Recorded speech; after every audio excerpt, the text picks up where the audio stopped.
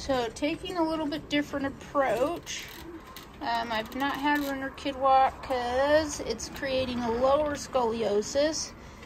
But at the same time, I don't want her to be afraid of of walking or I just don't want her to develop that mindset of I can't Cindy lift that up over the, the threshold um gotta lift up and over lift up and so here's how we just work together as a family and what I'm gonna do to her chair is I'm actually gonna get um, some arm floaties for her to sit on so she can sway back and forth. So right now she's on a hard chair. And so the way that her scoliosis is, it makes it so that she um, favors one side.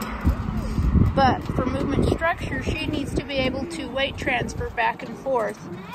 Um, and so if I get some arm floaties and stick them on, like, so stick them around this part here so she can sit on the arm floaties and weight transfer back and forth, this will make her walking a lot more success uh, successful and more um, more I don't know if lifelike is the right word but just compatible to the movement structure. So like and subscribe to the channel so that you're getting more tips of how to improve your child's uh, quality of life using tools like the Amazing Kid Walk, but at the same time, the thing that you don't want to compromise is the movement structure. So right now, she's just hanging in, in this, and so we need to modify it slightly to support movement structure. And I'll show that in the next video.